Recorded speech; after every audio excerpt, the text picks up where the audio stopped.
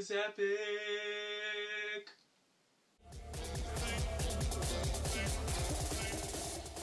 What up, world? Thanks so much for all your views, all your subscribes, and uh, for checking out our videos and our website. Tiny house living is all about finding multifunctional space and items. And the kitchen, if you've seen in our tiny house Q&A, the kitchen is Mrs. Epic's favorite part of the house, especially the countertops.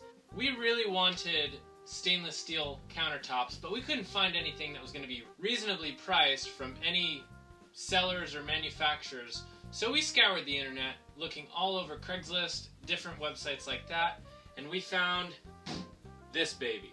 It is a stainless steel box, and it came with the wooden table that the box sits in. So this box is similar to something that you would find in the back of a pickup truck for tools and other type of items.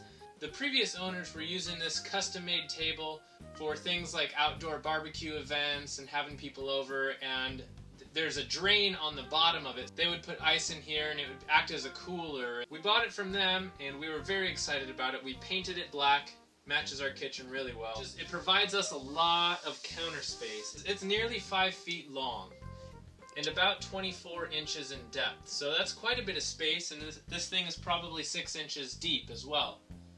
So that gives us a lot of room.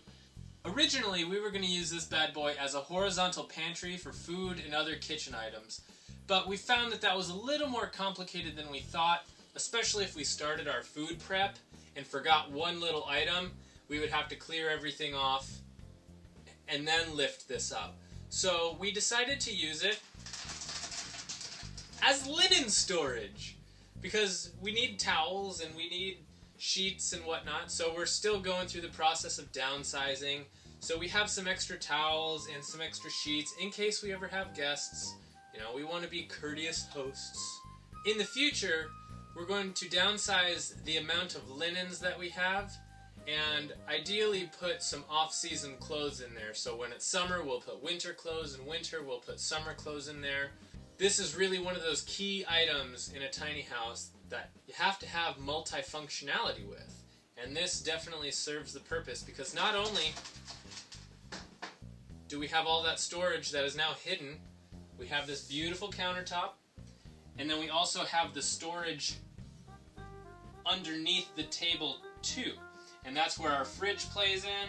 We have pots and pans, our toaster oven. So this beautiful beautiful countertop table combination really is serving a purpose for us. So our stainless steel countertop table storage unit only cost us about a hundred bucks because we were thinking outside the box and trying to figure out what is it that we can use in our kitchen, still have the functionality that we need and the looks that we want.